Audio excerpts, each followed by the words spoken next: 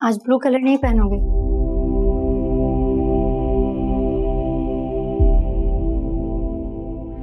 نہیں۔ بلو اب میرا فیوریٹ رنگ نہیں۔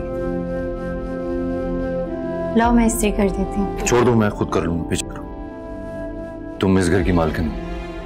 یہ کام تم کو سوٹ نہیں کرنا۔ تمہیں کیا لگا تھا؟ اب بھی سب کچھ پہلے کی طرح چلتا رہے۔ گا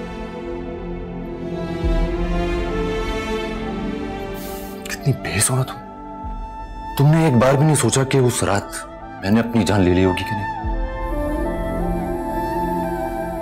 دیکھو مرتضی جو ہو گیا کہ اسی دکھ میں اب تم ساری زندگی گزارو گے؟ تو کس بات کا نہیں ہے کہ تم میری نہ ہو سکیں۔ تو کس بات کا ہے کہ میں نے کتنی خود غرض لڑکی سے محبت کی تھی۔ خود غرضی صحیح۔ لیکن خدا کے واسطے۔ اب میری زندگی کا تماشا مت بنانا۔ واہ۔ اب بھی تمہیں صرف اپنی ہی پرواہ۔ ہے